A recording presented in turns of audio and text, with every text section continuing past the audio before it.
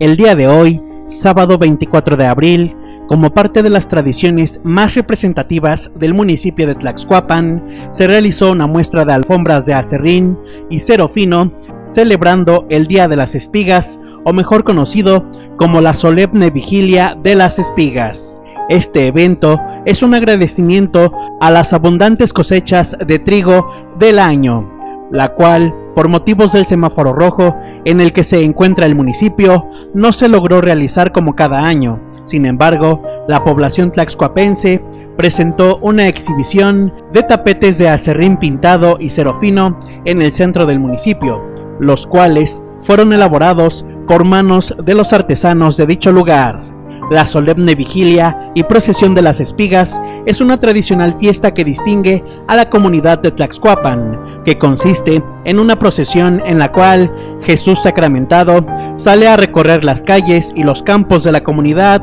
para pedir por las cosechas del año. Esta festividad, que se caracteriza por calles adornadas con acerrín de colores, portadas de trigo y cuadros bíblicos que la comunidad prepara con mucha fe y devoción, se realiza el último sábado de cada mes de abril, sin embargo, por segundo año consecutivo fue suspendida debido a la pandemia del COVID-19. Muchas felicidades a quienes fueron parte de este gran evento de exhibición de portadas y tapetes.